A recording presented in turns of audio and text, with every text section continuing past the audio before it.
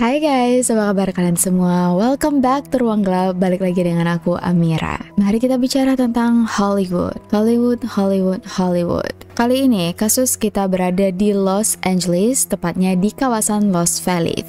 So, sedikit sejarah tentang Los Feliz. Ini dulunya adalah lahan pertanian yang diwariskan oleh keluarga Feliz ke keturunan mereka Dulunya terkenal sangat subur, hewan apa pun yang hidup diternak di tanah ini pasti sehat, berkualitas baik, dan juga tanaman yang ditanam di tanah ini pasti hasilnya berhasil. Sampai suatu hari, tanah ini diturunkan ke keturunan berikutnya yang bernama Domingo. Domingo menikah dengan seorang wanita cantik yang masih muda. Tapi ternyata wanita ini tidak setia. Dia punya simpanan. Dia selingkuh dan waktu ketahuan, istrinya melarikan diri dengan selingkuhannya, pergi ke tempat lain. Domingo tinggal sendirian. Setelah dua tahun, ada pesta di daerah situ. Dan secara nggak sengaja, Domingo melihat istri dan selingkuhannya datang ke pesta itu. Domingo langsung melapor ke pihak terkait. Waktu itu perselingkuhan masih termasuk ke dalam pelanggaran hukum. Kayaknya sekarang di Amerika udah nggak lagi. Jadi, polisi langsung mencari keberadaan istri dan selingkuhannya. Begitu dapet, mau dijatuhin hukuman tuh,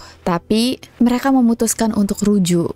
Daripada masuk penjara, mending didiskusikan secara kekeluargaan. Baliklah istrinya yang selingkuh tadi untuk tinggal bersama Domingo lagi, membangun keluarga layaknya keluarga biasa, melupakan apa yang sudah terjadi. Padahal istrinya sudah merencanakan rencana jahat. Suatu hari, waktu Domingo dan istrinya lagi berkuda di daerah tanah peternakan mereka, selingkuhan istrinya sudah menunggu dan langsung menghabisi Domingo.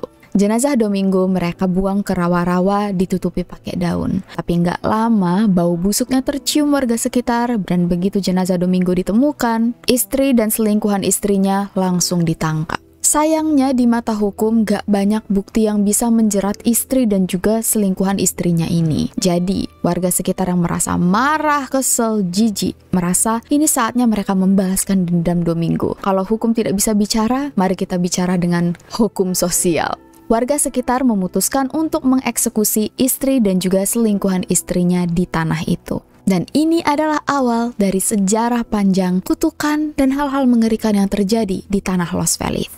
Tanah ini kemudian dibeli oleh seorang pria kaya yang kemudian jatuh sakit. Waktu itu dia mengidap penyakit cacar dan satu-satunya keluarga terdekatnya adalah keponakannya. Dia nggak punya istri, dia nggak punya anak. Jadi udah pasti yang bakal mewarisi kekayaannya adalah keponakannya ini. Nah, waktu lagi di karantina karena dia sakit cacar, ternyata ada banyak teman-teman sekitarnya yang menghasut supaya pria ini tidak mewariskan kekayaannya ke keponakannya tadi. Jadi di detik-detik terakhir terakhir hidupnya, pria ini mengganti wasiatnya dan waktu meninggal, keponakannya yang mengira akan mewarisi harta pamannya gak dapat apa-apa. Keponakannya ini melayangkan kutukan. Dia bilang, aku sumpahi tanah yang harusnya jadi milikku itu tidak akan pernah bisa ditumbuhi oleh tanaman. Seluruh hewan yang tinggal di situ akan mati. Apa pun yang berusaha dibangun di tanah itu akan berakhir menderita. Tanah ini kurang diketahui akhirnya jatuh ke tangan siapa, tapi kemudian dibeli oleh pria bernama Griffin.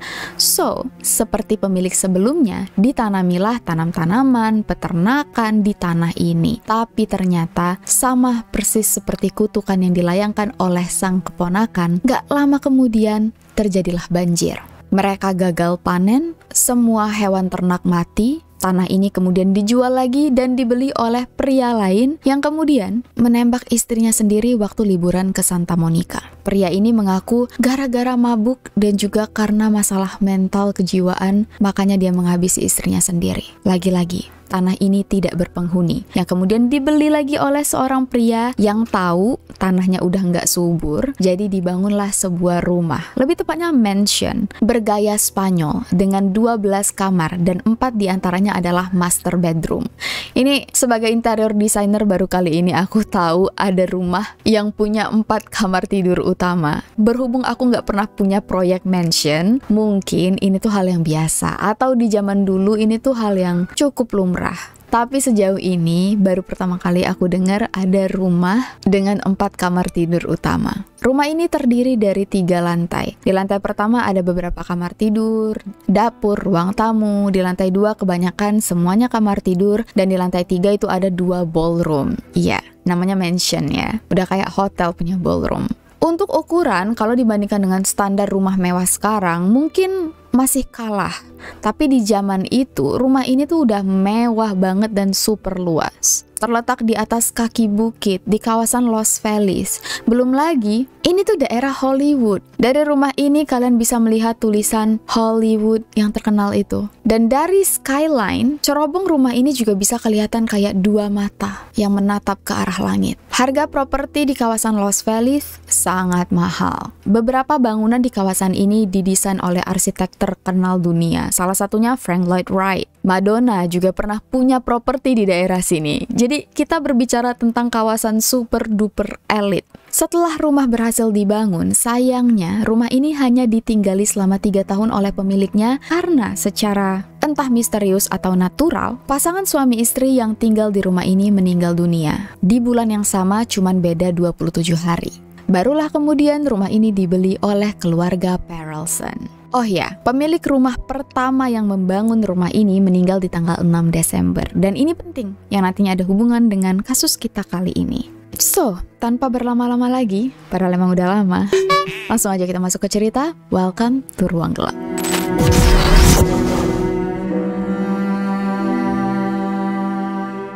Di awal tahun 1900-an ada banyak banget imigran dari negara-negara lain yang datang menuju Kanada, Amerika, Eropa untuk mencari kestabilan karena kebanyakan tanah tempat kelahiran mereka mengalami banyak pergolakan politik, tidak aman. Salah satunya adalah keluarga Perelson. Mereka berasal dari Eropa Timur yang bermimpi punya kehidupan yang jauh lebih baik di Amerika Serikat. Keluarga Perelson dikaruniai enam anak. Anak pertama mereka bernama Harold yang lahir pada tanggal 1 Februari 1909 di New York. Seperti di video sebelumnya, hidup sebagai imigran minoritas itu sulit banget, apalagi di saat perang baru-baru aja reda. Masih ada ketegangan-ketegangan yang tidak bisa dijelaskan. Orang-orang masih kaget dengan kehidupan yang memiliki peraturan baru. Begitu juga dengan keluarga Perelson yang gak punya mimpi muluk-muluk. Mereka cuma ingin bisa hidup tenang, damai, dan diterima oleh masyarakat sekitar. Ayah dan ibu Harold bernama Henry dan Molly. Mereka sehari-harinya bekerja sebagai pegawai biasa. Henry setiap hari pergi bekerja dengan pendapatan sederhana, sedangkan Molly sempat pengen kerja, tapi di zaman itu gak banyak lowongan untuk wanita. So,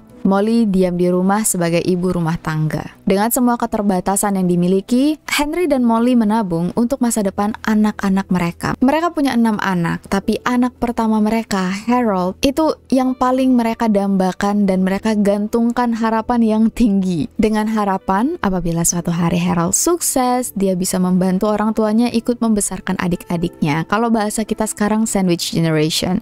Untungnya Harold tumbuh menjadi anak yang baik, cerdas, pintar, punya benih-benih yang apabila terus disupport bisa menjadi investasi kehidupannya di masa datang. Begitu lulus sekolah, Henry dan Molly menyanggupi untuk mengirim Harold kuliah kedokteran dengan semua uang tabungan mereka. Dan untungnya Harold berhasil dia menjadi salah satu mahasiswa paling pintar. Begitu lulus, diterima kerja di rumah sakit. Dia juga sempat membangun bisnis yang meskipun tidak berhasil, tapi karirnya di rumah sakit sangat cemerlang. Dia mendapat tawaran untuk bekerja di daerah California Selatan bersama dengan Dr. Inglewood yang menjadi salah satu mentornya. Harold menjadi salah satu dokter yang terkenal kredibilitasnya. Dia famous menjadi salah satu dokter inti, mengeluarkan artikel penting, dan terus melanjutkan sekolahnya sampai menjadi ahli jantung. Kemudian Harold buka praktek sendiri. Secara finansial, Harold sangat-sangat makmur. Kemudian dia bertemu wanita cantik bernama Lillian Silva. Sama seperti Harold, Lillian adalah anak imigran juga, tapi berasal dari Israel.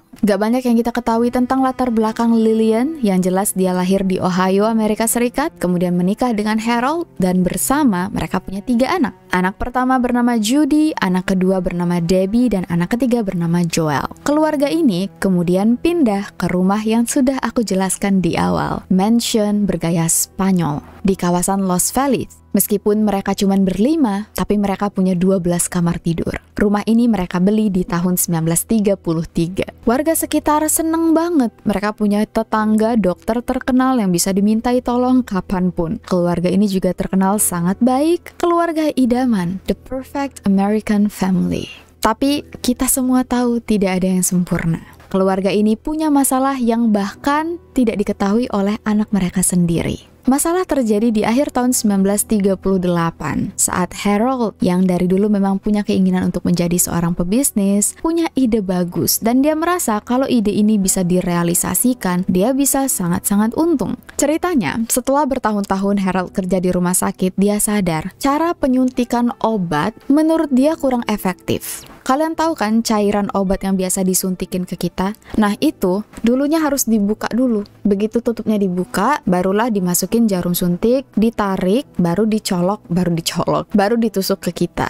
Harold punya ide, gimana kalau tutup botol ini sebenarnya bisa langsung aja disuntik pakai jarum. Jadi nggak perlu dibuka tuh ujung tutupnya. Kalau ide ini berhasil direalisasikan, bisa mengurangi kemungkinan obat terkontaminasi oleh udara sekitar. Dan juga kemungkinan-kemungkinan ada zat asing yang masuk ke dalam botol. Nah, untuk merealisasikan jarum suntik ini, Harold butuh partner. Harold memang punya ide, tapi dia butuh pebisnis yang merealisasikan dan merancang semuanya sampai jadi. Setelah mencari-cari partner, bertemulah Harold dengan seorang pria yang bernama Edward Skustek.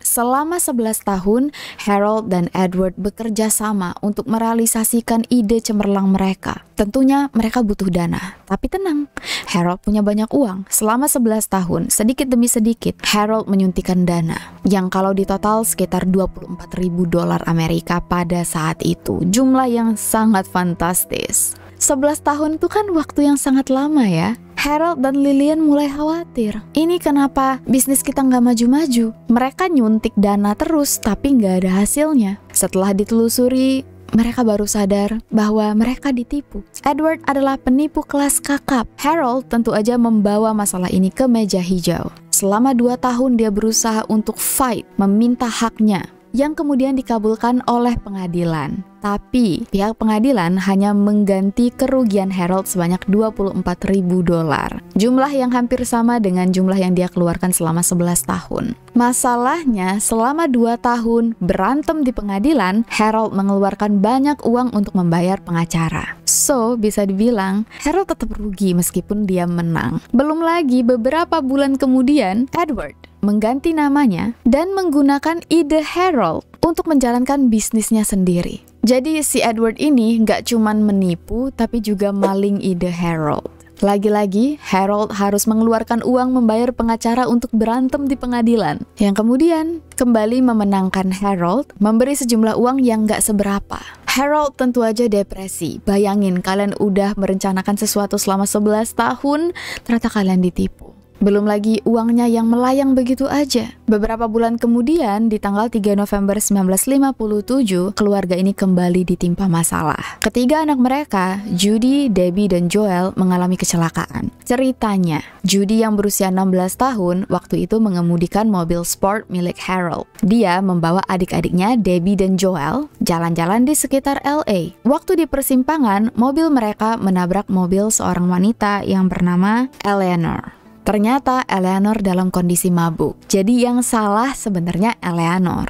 Judy, Debbie, dan Joel terluka parah. Untungnya masih bisa diselamatkan. Harold lagi-lagi berakhir di pengadilan. Dia menuntut Eleanor untuk membayar ganti rugi. Masing-masing ke anak perempuannya sekitar 25 ribu dan ke anak laki-lakinya yang menderita luka paling ringan 10 ribu dolar. Jadi kalau di total sekitar 50 ribu dolar. Tapi di pengadilan, Harold tidak mendapatkan uang sebanyak ini. Dia dinyatakan menang, tapi uang yang diberikan itu cuma cukup untuk membiayai pengobatan anak-anaknya. Udah, sampai situ aja. Karena masalah yang bertubi-tubi inilah, Harold mulai kelihatan depresi. Berkali-kali dia mengalami sakit jantung, dilarikan ke rumah sakit dan untungnya masih bisa diselamatkan. Dan di sinilah tanda-tanda Harold mengalami masalah terlihat.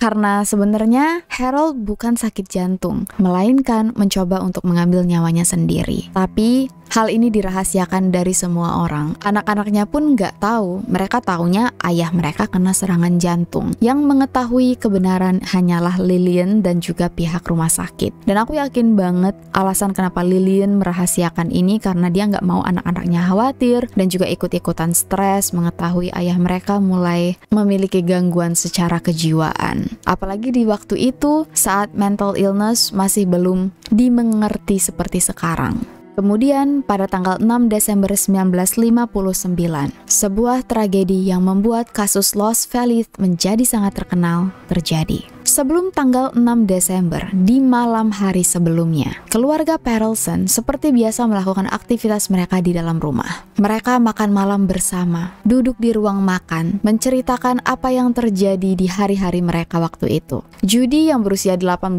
tahun enggak melihat ada sesuatu yang aneh, tapi dia tahu keluarganya memang dalam banyak masalah. Judy tahu keluarganya lagi kesulitan secara finansial, bahwa ayah dan ibunya punya masalah sendiri yang sampai sekarang kita juga nggak tahu, tapi ditulis oleh Judy di sebuah surat yang akan dia kirim ke tantenya. Di situ Judy menulis, awalnya masalah keluarga kami kelihatan sudah hampir selesai, tapi sekarang sudah kembali dan justru 10 kali lebih berat. Masalah apa yang dimaksud oleh Judy hanya diketahui oleh Judy sendiri. Setelah mereka berlima makan malam, Judy naik ke atas ke kamarnya untuk mengerjakan PR. Kedua adiknya juga diantar untuk tidur. Lalu Lillian masuk ke kamar untuk tidur. Yang terakhir kali masih ada di ruang tamu adalah Harold yang menonton TV sampai tengah malam. Sekitar jam 1 atau jam 2 malam, Harold naik ke atas untuk tidur bersama istrinya. Nah, kamar tidur Harold dan Lillian rupanya punya dua kasur twin bed. Di zaman dulu ini tuh bukan hal yang aneh, terutama untuk Harold yang bekerja sebagai dokter yang harus tidur secara maksimal. Jadi kasur mereka sengaja dipisah biar Harold bisa tidur tanpa terganggu. Sebelum tidur, Harold membaca sebuah buku yang sedikit kontroversial karena di dalam buku ini ada beberapa kutipan yang menceritakan tentang seseorang yang kebingungan dengan kehidupannya sendiri, yang merasa tersesat dan berada dalam kegelapan. Sekitar jam 4 subuh, Harold terbangun. Berarti hari itu sudah memasuki tanggal 6 Desember. Dan kalau kalian ingat, pemilik pertama rumah ini meninggal di tanggal 6 Desember. Harold yang terbangun, enggak tahu kenapa, turun ke bawah untuk ngambil kapak. Begitu menggenggam kapak, Harold naik ke atas, masuk ke kamar tidur, dan langsung memukuli kepala istrinya sendiri. Lillian meninggal dengan luka di sekujur kepalanya tapi hasil autopsi mengatakan Lilian tersedak darahnya sendiri. Dan ini adalah penyebab kematian Lilian, bukan karena dipukuli tapi tersedak darah. Dari kamar sebelah, Judy mendengar suara ribut-ribut. Kebetulan, kamar tidur Harold dan Lilian terhubung dengan kamar mandi yang terhubung dengan kamar Judy. Jadi semacam shared bathroom. Judy yang mendengar suara-suara ini terbangun, tersadar, dan waktu dia membuka mata, Harold sudah berdiri di sebelahnya dan mengayunkan kapak ke kepalanya. Judy masih sempat mengelak, tapi ayahnya tetap memukuli kepalanya berkali-kali. Judy lari ke kamar mandi yang menghubungkan dia langsung ke kamar ibunya dan begitu melihat ibunya terbaring berlumuran darah di atas kasur, Judy tahu bahwa ayahnya berniat untuk menghabisinya. Jadi, Judy pura-pura meninggal. Berhubung waktu itu kepalanya memang sudah mengeluarkan darah, Harold mengira Judy beneran sudah meninggal. Waktu Harold keluar kamar, rupanya Debbie dan Joel, dua anak bungsunya, juga sudah keluar dari kamar dan nanya, Ayah, Kenapa? Ada apa? Mereka juga terbangun. Anehnya, Harold bilang, Gak apa-apa nak, gak ada yang terjadi. Kalian masuk ya ke dalam kamar. Ini cuma mimpi buruk. Judy yang mendengar bahwa ayahnya terdistraksi oleh kedua adiknya dan untungnya kayaknya adik-adiknya nggak dalam bahaya, Judy langsung menyelinap keluar rumah, berteriak-teriak minta tolong dan mengetuk semua pintu tetangga yang masih bangun. Ternyata ada banyak tetangga yang memang mendengar suara ribut-ribut dari rumah itu. Mereka dengar ada suara, "Jangan, jangan bunuh. Jadi waktu Judy ngetok rumah mereka, tetangga yang lain langsung keluar dan mengerumuni rumah Lost Valley. Mereka nggak percaya dengan cerita Judy karena Harold terkenal sebagai dokter yang sangat kompeten. Saking nggak percayanya, salah satu tetangga nekat masuk ke dalam rumah untuk ketemu Harold secara langsung. Meskipun Judy sudah bilang ibunya meninggal karena dipukuli ayahnya menggunakan kapak dan waktu itu Judy juga dalam keadaan berdarah-darah. Tetangga yang masuk ke rumah naik ke lantai atas dan melihat Harold masih menggenggam kapak dalam keadaan berlumuran darah. Tetangganya nanya, Harold, kamu kenapa? Dan dengan kalem, Harold bilang, kamu pulang aja, ini gak ada urusannya dengan kamu. Baru tetangganya tadi takut, karena mimik wajah Harold sudah berubah. Harold kayak orang yang gak dia kenali. Untung tetangga sekitar sudah menelpon ambulans dan polisi yang datang di jam 5 subuh. Debbie dan Joel sudah diamankan oleh tetangga dibawa masuk ke rumah lain. Judy dilarikan ke rumah sakit. Polisi yang datang menyerbu rumah Harold tapi sayangnya, Harold ditemukan dalam keadaan meninggal. Harold menelan banyak pil, obat-obatan, dan juga cairan yang membuat dia kemudian overdosis. Dan sebagai dokter dia pasti tahu apa yang dia lakukan ya. Jadi dipercayai Harold memang sengaja mengambil nyawanya sendiri setelah menghabisi istrinya. Nasib ketiga anak ini nggak kita ketahui. Yang jelas mereka mengganti nama mereka supaya tidak dikait-kaitkan dengan kasus ini. Judy tinggal sendirian, Joel pindah ke Israel, sedangkan Debbie diasuh oleh kerabat sekitar di sekitar Amerika. Alasan kenapa Harold tiba-tiba berubah Gak ada yang tahu, bisa jadi karena masalah ekonomi atau karena mentalnya tidak stabil. Karena kasus ini terjadi di tanggal 6 Desember, di tanggal yang sama saat sang pemilik rumah meninggal dunia. Banyak yang merasa ini bukan sebuah kebetulan. Apalagi setelah keluarga Harold pindah dari rumah ini, ada banyak banget kegiatan paranormal di situ mulai dari suara teriakan, sosok yang mengintip di jendela. Wajar kalau rumah ini terlihat seram karena emang nggak ditinggali oleh siapa pun. Rumah ini sempat dibeli oleh pasangan suami istri yang besok paginya bawa barang-barang untuk pindah, tapi malam harinya tidak pernah terlihat lagi. Enggak, mereka nggak meninggal, tapi mereka memutuskan untuk tidak tinggal di rumah itu. Gak ada yang tahu kenapa. Rumah ini malah dijadikan semacam gudang, nggak pernah dibersihin, justru semakin banyak barang yang dimasukin ke situ tapi nggak pernah ditinggalin sama sekali. Masyarakat sekitar mulai resah. Mereka nggak seneng. Bayangin, ada rumah kosong di sebelah rumah kalian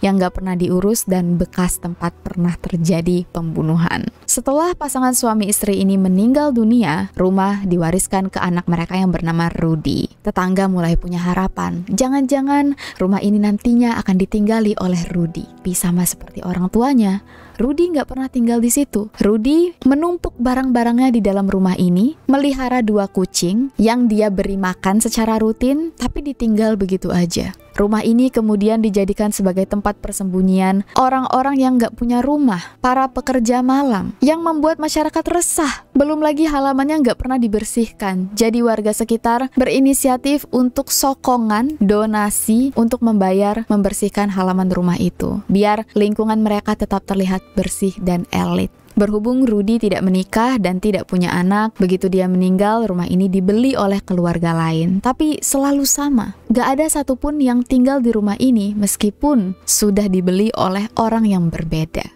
Dan sampai sekarang, rumah atau mansion ini masih tidak berpenghuni dan kayaknya bakal dihancurkan lalu dibangun lagi menjadi bangunan yang baru. Dan sampai di sini dulu cerita kita pada kali ini. Lebih dan kurang aku mohon maaf. Thank you so much atas semua dukungan, bantuan, support kalian semua yang luar biasa. We adore you guys so so much. I'll see you guys very very soon in the next video. Please please please please stay safe, take care and stay alive.